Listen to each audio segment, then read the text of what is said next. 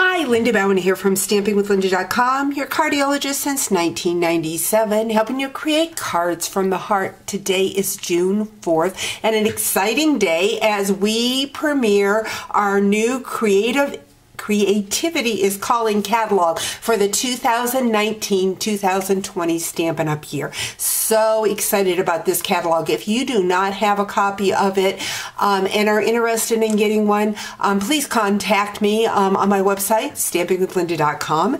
Um, today is Tuesday, so create a fold, the release of the new catalog, and I am going to be sharing a creative fold using the new Magnolia Lane Designer Series paper.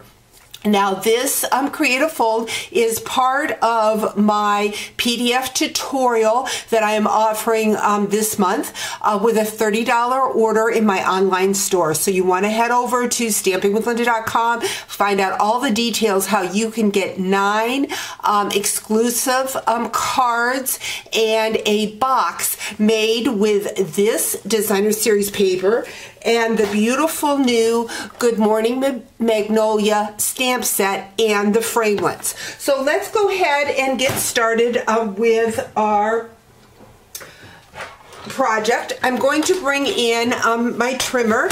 I have a piece of Mossy Meadow. This measures five and a half by 11. I have two pieces of Designer Series paper, the Magnolia um, memory uh, designer series paper. One of them measures uh, two and a half by four and excuse me, one of them measures two and three quarter by five and a quarter, and the other one is three and a half by five and a quarter. So I've got those two. I also have a piece of Whisper White. This measures four by five and a half, and I've already taken the blends and have colored that in. I have also used our new um, dies. These are the stitched nesting uh, labels dies and I absolutely love them. They layer on top of each other and I cut um, the Mossy Meadow one out of a two and a half by four. So then that gives me a nice um, negative frame that I can use for another card. And then I have um, a piece of the Whisper White um, cut out with a smaller um, label, again with a die cut machine. I have already taken the smaller uh, Magnolia and cut it out with a frame. And so the main focus on this card is going to be um, the folding of the card. So again, I have a five and a half by 11 and I have my trimmer. So I'm going to bring that in and I am going to score it at three and three quarter and at eight. And this is going to form my trifold card. We've got like so. I am going to take the smaller piece of, let me get my bone folder in here and just make sure that crease is nice and even. I'm going to take my smaller um, piece of designer series paper. Again, this measures uh, two and three quarter by five and a quarter and I'm going to put that on the flap like so. I'm going to take that bigger piece. This um, measures to three and a half by five and a quarter. I'm going to put that on the inside like so. My piece of white that is four by five and a quarter that I've already stamped is just going to go on the inside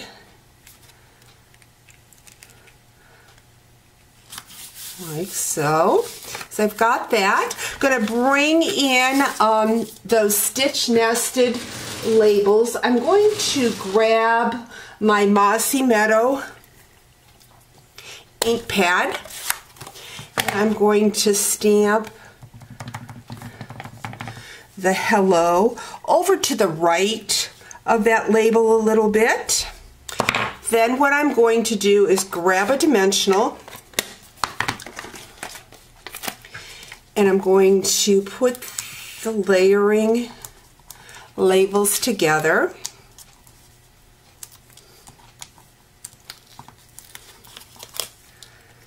Like so. I'm Gonna grab that magnolia blossom and just gonna add that to my card here and then add that to my flap. Again, this card is part of my PDF tutorial that you are going to want to get your hands on. Um, so I've got that. What I have taken, this is the ribbon uh, from that Magnolia Suite, and it is... Um, a tan color, but what I have taken is just my blends. And when you take your blends, I'm gonna just color that on a darker, here's a scrap piece of paper I can put down. But when you take your blends, you can actually color that ribbon. You can color any of your embellishments and change the color of them. So I still have that little layer of um, white stripe, but then I have changed that to be um, Old Olive, which matches that um, Mossy Meadow real well. So I'm just going to tie a square knot. Something when you do um, color your ribbon, your ribbon becomes a little stiffer um, with the blends once it dries. I've got that. And we're just going to trim that off.